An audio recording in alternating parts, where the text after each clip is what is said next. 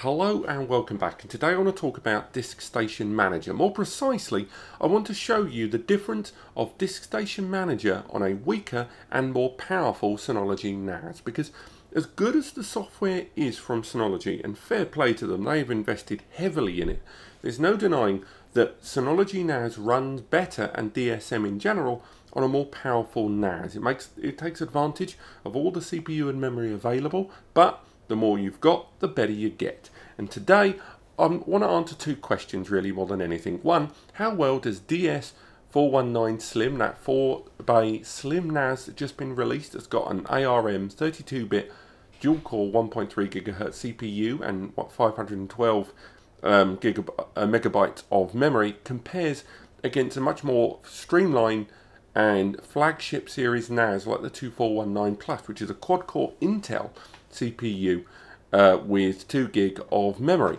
So we're going to look at DSM on both of these devices, but what I want you to really focus on is the right hand side of the screen over here, because this is the one that we want to bench test. DSM already runs pretty damn well on this one here.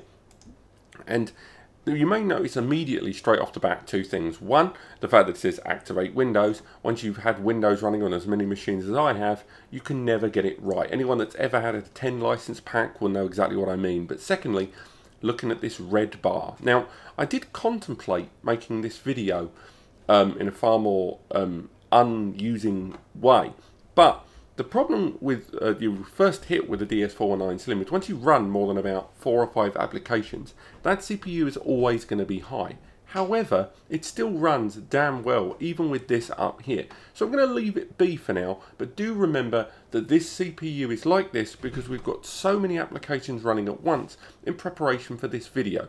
In the interest of showing you all the different things you have on a NAS like this, I thought it worthy to go through them all, and unfortunately, prepping for this video has ramped up that CPU somewhat. So, straight away, if we go into the device itself, we can have a look at the uh, uh, package center. Because the first thing you'll notice is there are more applications available to you on a more powerful NAS. Synology have a tendency to not include applications in a NAS's um, app selection unless it's powerful enough to support them. So the likes of active backup for business will not be available on a weaker machine like this. Things like chat will be, and audio station, file station and more, those kind of staple applications will always be available. But more business based ones, such as those active backup um, applications, more intense server ones and more disappear straight away. If we scroll down and we look more at the multimedia ones, we see straight away that big, big player applications like Plex, Virtualization Station and more are long gone. Um, as are things like Docker, which aren't um, hugely present, although we scroll to the bottom, and we've got still got a lot of applications available, but nowhere near as many or as deep or as business orientated as they are on this. But there is Plex Media Server, although things like transcoding are definitely not supported. If we want to install an application on either of these, we will just click install and then it installs the application in the background. And it's that straightforward as you can see, even though CPU utilization is very high, it's still running pretty fluid. It has to be said, there's also support of the surveillance station application, Moments, Drive, Office, all of those applications that Synology sing praises about are present here.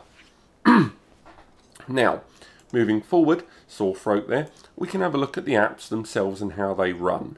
Now, I've already, as I say, mentioned a, and installed a bunch of applications and synchronized them and indexed them for content. So if we look at Moments, we'll look at Video Station, and finally, if we get that open there, we will look at Drive.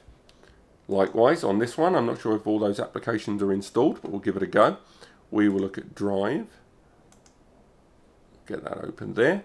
And again, do I do apologise for any lag during the recording. That is largely due to the recording software I'm using on this PC and how the PC has to battle all of that available um, GPU power as much as possible. Um, but if we move across there, we can look at Synology Drive, and Synology Drive looks very, very similar on the pair of these uh, devices. They run very well indeed, but it has to be said that file streaming uh, from the Drive interface runs a great deal better on the more powerful NAS. Don't worry too much about the list of files and folders, it's more to do with the directory there. And how quickly these both run and how quickly they play files is pretty similar indeed. If we go for a video file here, let's go for a TV show. What's the first one? Friday Night Dinner, we're going to double click that.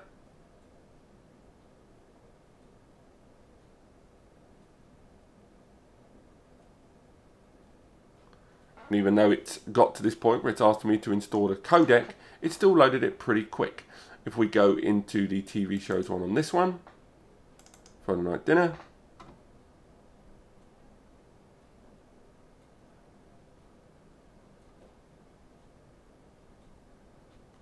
and there's the codec option. But we worry too much about the codec side of things. But as you can see, they both ran at pretty much the same length of time to get that file open. If we look at Video Station, I've already started indexing all the thumbnails in the background on this slim device. Again, it's even though it is a quite low spec NAS server, it still has managed to do all of this very quickly indeed with this device only been up and running now for around three hours um, from initial initialization all the way through to right now. And with all of those files and the thumbnail generation, everything in the background being ripped, again, even on this low spec NAS, it still managed to get the metadata on those descriptions and lots of information about this device, uh, about this file that we're looking at. Next, if we make our way through to the next area, we can look at Synology Moments. Now, Synology Moments is one of the ones that really impressed me. I've had to uninstall it on this NAS on the left due to my drive synchronization video, but despite the fact that this NAS is fantastically underpowered compared to a number of its brethren, it still managed to index and find photos very quickly within those hours. And once again, for those that have never used Drive, it's very straightforward. It um, recognizes faces and it lets you inde index these people. So in case I put R there for Robbie, find it, it merged those together. And again, that photo recognition software, because remember, this information was not found because my name was in the file uh, that was being seen. It was done because it recognized faces within the photos. And there's still 312 photos yet to be scanned which are happening right now. So more faces will be added over time. Likewise places. Due to geolocational tagging and identifying marks in photos it has also managed to find and sequence and display all this information in a way that we want. So when I was in Berlin with friends now we've got all of my photos from when I was in Berlin even though these files are not called what they are. There's just a photo there. We can get information on the side. We can go straight into information and from here we can find out more about the device that took the picture and the location. Lots of information there. And again, that's just another example of how, even with its limited resources, Synology NAS has managed to really take as much as possible out of this device. Now, if we move over to the side here, we can have a look at um, the resource monitor and how resources are being consumed by this device in real time. Removing the package center there, going to the resource monitor here, and we can see how those resources are being consumed, how and where in fact. Because straight away, obviously due to the sequencing of things like moment in the background and more, lots of the resources are going to be eaten up, but don't lose sight of the fact that this is still within the initial few hours of setup. And this NAS is still running pretty damn well for a device that I'm currently offloading over 100 gig of files onto and indexing in Moment and indexing in Video Station.